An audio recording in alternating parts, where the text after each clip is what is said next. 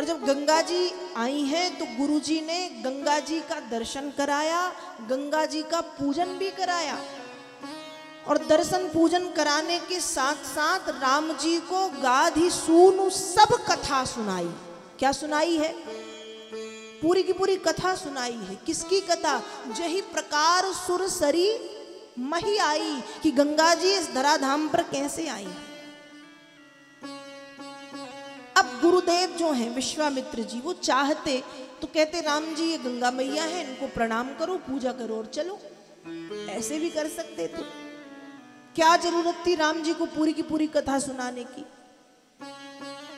राम जी को गंगा अवतरण की कथा इसलिए सुनाई है, विश्वामित्र जी, राम जी से कहना चाह रहे हैं कि, राम, ये तुम्हारे वंश का प्रताप है, जिसके कारण स्वर्ग में बहने वाली सुरसरी को पृथ्वी पर आना पड़ा ये किसके वंश का गौरव है?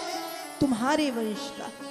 और राम आज ऐसा ही प्रताप और ऐसी ही प्रभुता का तुम्हें प्रदर्शन करना है या तुम्हें अपनी ऐसी ही प्रभुता दिखानी है? कहाँ पर? जनकपुर में। राम जी को धनुष तोड़ना है ना? तो गुरु जी ने राम जी के आत्मविश्वास को बढ़ाया। गुरु कौन है? जो प्रत्येक परिस्थिति में शिष्य के आत्मविश्वास को बढ़ा दे। गुरु कौन है जो अटके, भटके, लटके हुए शिष्य को सही रास्ता दिखा दे? गुरु कौन है जो पथ से भ्रष्ट हुए शिष्य को उसके लक्ष्य को पाने का मार्ग बता दे? वही तो गुरु है। गुरु कौन है जो शिष्य के मनोबल को बढ़ा दे। गुरु कौन है जो शिष्य के आत्मविश्वास को बढ़ा दे? गुरु कौन है जो शिष्य को उसकी शक्ति से परिचित करा दे? वही तो गुरु है।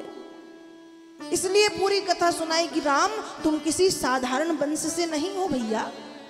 ये गंगा जी जो आई है ना, ये आपके वंश का प्रभाव है, आपके वंश का प्रताप है। और पूरी कथा सुना दी गंगा अवतरण की। आप सभी को तो ज्ञात होगा। सूर्यवंश में सगर नाम के एक राजा हुए हैं, जिनकी दो पत्नियाँ थी, सुमति और केसमी। सुमति के पुत्र सुमति के साठ हज़ार पुत्र थे और केसमी का एक पुत्र था, असमंजस। सगर ने अश्वमेध यज्ञ किया। उसमें घोड़ा छोड़ते हैं, वो घोड़ा ईर्ष्यावश इंद्र ने चुराया और कपिल मुनि के आश्रम में ले जाके बाँध दिया। सगर के साठ हज़ार पुत्रों ने घोड़े को बहुत ढूंढा, नहीं मिला। इतना धूड़ा इतना धूड़ा कि पृथ्वी को खोद के बड़ा भारी समुद्र बनाया। पाताल में गए तो कपिल मुनि के आश्रम में घोड़े को बंधा पाया। सगर के साठ हज़ार पुत्र कपिल मुनि को अपशब्द कहने लगे। कपिल मुनि के नेत्र खुले तो उनकी क्रोधाग्नि में जल के वे भस्म हो गए।